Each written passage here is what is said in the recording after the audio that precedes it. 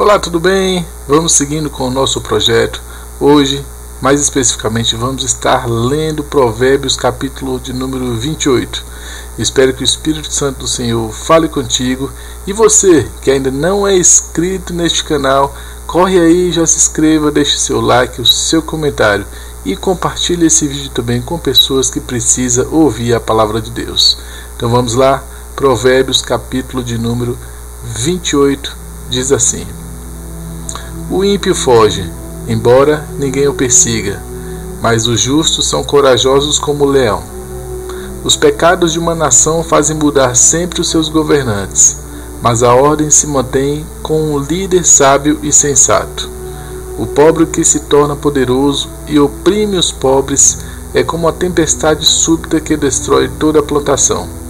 Os que abandonam a lei elogiam os ímpios, mas os que obedecem à lei lutam contra eles.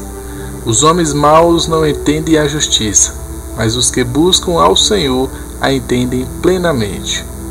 Melhor é o pobre íntegro em sua conduta do que o rico perverso em seus caminhos. Quem obedece à lei é filho sábio, mas o companheiro dos glutões envergonha o pai. Quem aumenta sua riqueza com juros exorbitantes, ajunta para algum outro que será bondoso com os pobres. Se alguém se recusa a ouvir a lei, até as suas orações serão detestáveis. Quem leva o homem direito pelo mau caminho, cairá ele mesmo na armadilha que preparou. Mas o que não se deixa corromper terá boa recompensa. O rico pode até se julgar sábio, mas o pobre que tem discernimento o conhece a fundo.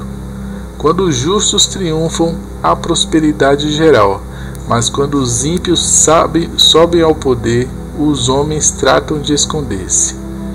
Quem esconde os seus pecados não prospera, mas quem os confessa e os abandona encontra misericórdia.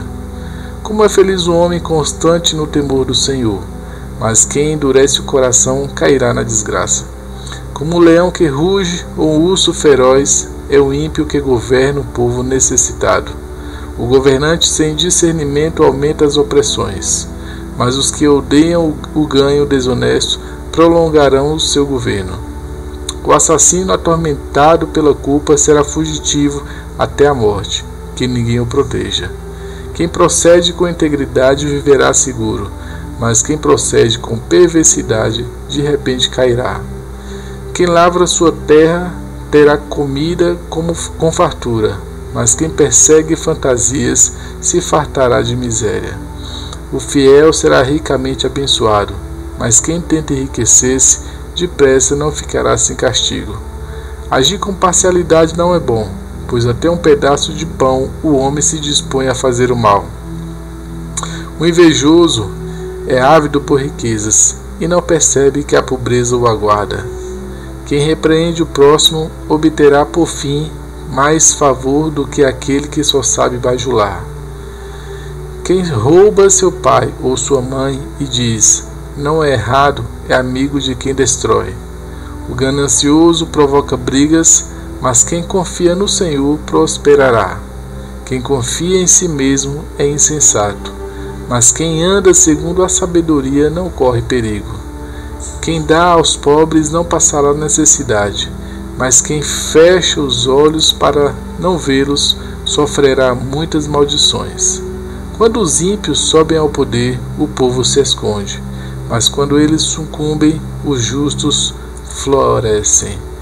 Tá então, pessoal, Provérbios, capítulo de número 28.